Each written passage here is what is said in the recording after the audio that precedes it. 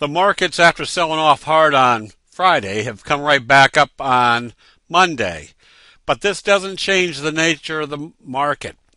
Notice that we're still in this wedge formation and it's been up, down, up, down. We still have to watch to make sure we're not in that oscillating market. So right now, when you're analyzing the market trend, you also can much more easily analyze the nature of that trend, that it's not straight up, that it's choppy on the way up. That could be going on right now. The only time that we can definitely tell there's a change of investor sentiment is if they break out of the previous formation, such as trading above the wedge formation. That same scenario can be uh, evaluated as far as the NASDAQ, that it came right down and touched the bottom of the, uh, uh, or touch the 50 day moving average, which has been acting as support. So we're still watching to see if they can break out through this level, telling us there's a new phase of this market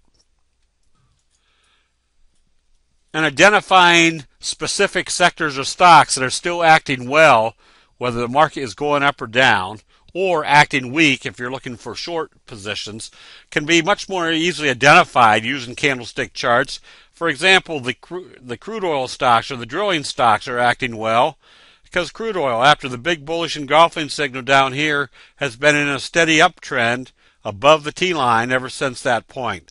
And we're right now at the just at this level of a previous high that if they break out through that uh, point, that means we're now at a new high. Crude oil could go higher,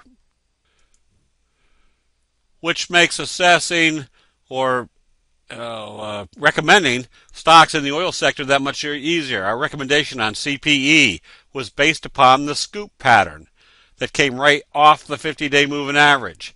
And at this point, even with the uh, market oscillating, it still has not closed below the T line, keeping us in an uptrend. Why does that work so effectively? We know that as long as you're above the T line after a buy signal, you can stay long. You also know the results of a scoop pattern is that it's usually going to have a very strong slingshot effect to the upside. And LPI, another uh, recommendation coming out of the big fry pan bottom, doing a J hook type pattern. Notice what it's not been able to do. Really not been able to close below the T line. You stay long, or you can be a buyer if it comes back up through this level, telling you you're in wave three. Using candlestick signals and patterns makes analyzing price movement and trends much easier because there are expectations of what human nature will do time after time. And that's basically done with the graphic depiction uh, from candlestick charts. That'll be it. We'll see you in the chat rooms.